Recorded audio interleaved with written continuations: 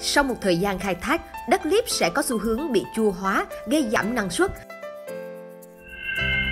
Làm thế nào để cải tạo, tăng độ màu mỡ cho đất liếp, giúp vườn cây ăn trái ở đồng bằng sông Cửu Long phục hồi?